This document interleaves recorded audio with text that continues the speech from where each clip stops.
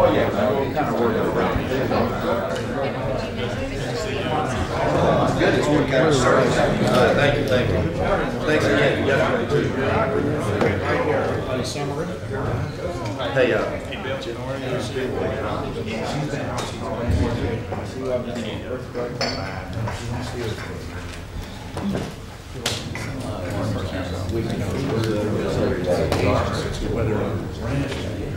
what's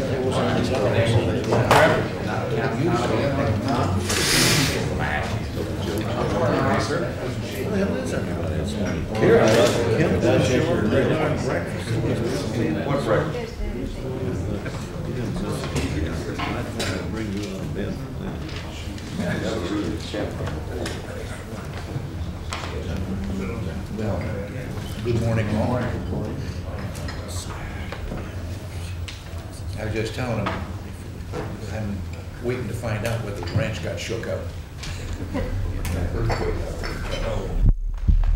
They got told by Senate Republicans.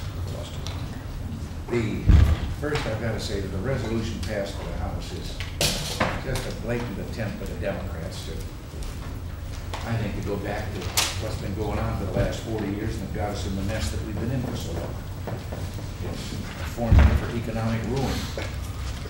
And, uh, I think higher spending, higher taxes, higher inflation, higher interest rates, and complete irresponsibility with regard to defense rebuilding.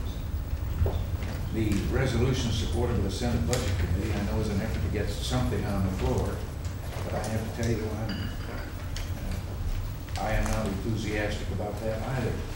I think spending restraint is stressed a bit more, but the tax increases are unacceptable, and I will be any tampering with the third year of the cuts or indexing, and yesterday I was talking when I was brought two letters, one from the Senate and one from the House, both signed by enough individuals in both houses and sustaining the the veto that I thought was necessary. Now, I understand the two-year compromise budget, this resolution being drafted by the Republican conference is in accord with my revenue numbers for eighty-four, and that defense is restored to seven and a half percent growth for eighty-four. Uh, I'm not happy about the five percent increase in, in eighty-five. I thought that the seven and a half, seven, six, five, four that we proposed was uh, a healthy slice in the original proposal. But I also understand that domestic spending cuts are at the same level they were in the committee version, and I can't be happy about that. I think we have to do it, and I'd like to discuss very frankly with you uh, how we can do better. I know that there's a drumbeat of propaganda out there and in the press and in the media and from the other side about the cuts that we've made so far in domestic spending, in the budgets. And the truth of the matter is, we've all said budget cuts so long that we don't realize there never has been a budget cut. We have reduced the Carter projections over the years for increased spending. But the budgets we have now are record budgets. They're higher than anything else. And if you bear with me for a minute, I'd like to read you a letter that is going to the CBS Sunday Evening News. I came in storming yesterday about Joan Snyder's report. Any of you watch CBS Evening News on Sunday, on May 1st, they had an entire feature in there on food spending, food stamps and so forth. And it was the most distorted uh, story that you could imagine, and yet many people bought it. That we were cutting back, that the poor people were being denied food stamps, and now they were going to be hungry, and they had shots of the soup kitchen lines and everything else. Well, this is the letter that is going to the head of the news, Sunday News. The report contained a number of errors about the food stamp program. The first was Lesley Stahl's lead-in assertion that some 21 million people receive food stamps, considerably fewer than a couple of years ago before cutbacks.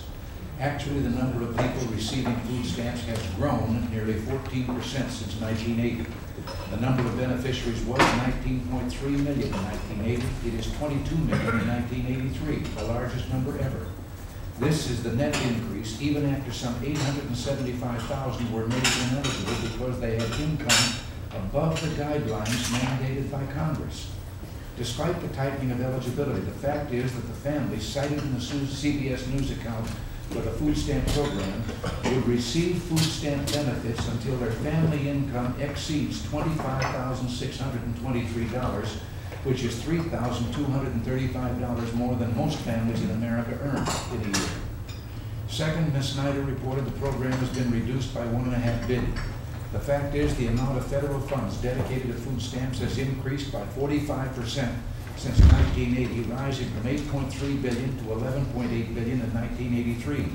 And the average monthly benefit per person during this administration has risen faster than inflation. Altogether, the department's food assistance programs cost more than eighteen point six billion dollars, up some twenty-seven percent since this administration took office. This money subsidizes, either in full or in part, more than ninety-five million meals a day for Americans. The report also added coverage of the commodity distribution program. The department will actually be providing more cheese per month than the monthly average since the inception of the program. Since December eighty-one, the department has distributed an average of nineteen million pounds of cheese per month. And just last week, it was announced we would be stabilizing the amount of cheese distribution from twenty-five million to thirty-five million pounds per month. And this was not mentioned in the Sunday Evening Report. Nor were your viewers told that last week we also announced the planned distribution of additional commodities. These new commodities are cornmeal, rice, flour, and honey. We have been and will continue the distribution of surplus dairy products, cheese, non-fat dry milk, and butter.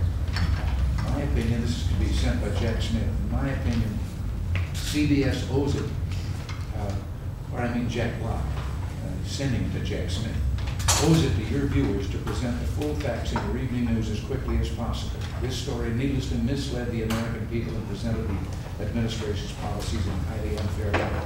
I happen to believe that these figures are roughly typical of much of what we've been doing. But we are spending every budget, but some have been altered here and there in an effort to get more help to people at the lower level of income. But I, course, I wish that we could take another look at the budget that we submitted. If we're gonna go into a conference committee with the Democratic budget that they proposed, when they themselves made it obvious that this was just a PR, and as Tip called it, a a reaffirmation of traditional Democratic policy. But if we're gonna go into something hoping to negotiate with that budget, I don't think we ought to dignify that Democratic, House budget as even something to negotiate with. Because it is a total reversion of going back to before we came here. And I still think that the bulk the people out there, yes, we want to take care of the needy, and I think a thing like this indicates that we are. But we've also, want to someday, come back to the point that government spends within its, within its revenue. And uh, we've made a pretty good start. And again, I just, I just want to say that here, around this table for months, preparing the budget, our cabinet secretaries come in, they agree to figures that they believe they can honestly perform the responsible, responsibilities of their agencies with those figures. And then we just throw them aside as if they didn't count. And These are the people that would be entrusted with making the programs work, and they believe they can do it uh, with those lower figures.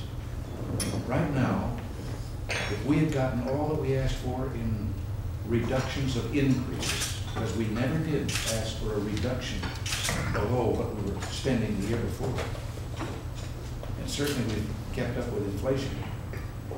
But if we had gotten those cuts, right now the deficit would be forty-one billion dollars less than presently is. So I just hope that we can go back in there with that other house and with something that is truly Republican, top to bottom, and that we can show to the American people the way we want to go. All right? Mr. President, Well, uh, to have you here. I'm pleased to have you here.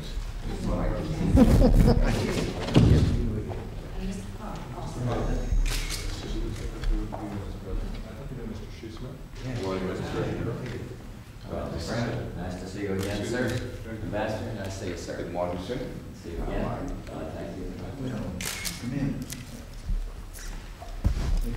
Come in, sit down. How are you? See you, sir. Good to see you. Well, thank you, sir. Uh,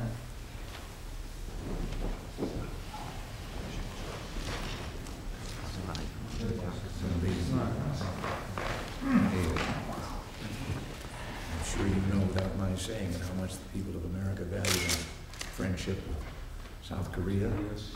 We intend to maintain that and uh, our commitment to sharing security for South Korea remains unchanged. Uh, We've been pleased with the efforts that President Chun has made to uh, trying to negotiate or at least to, to meet with counterparts in North Korea. But uh, regard to that, uh, we again affirm, uh, we will make no approaches to North Korea Yes, sir. without your request or your permission to do so, should ever come. Um, And we've been pleased also with some of the things toward a more participatory democracy that the president has, has approached there. But you must have something that you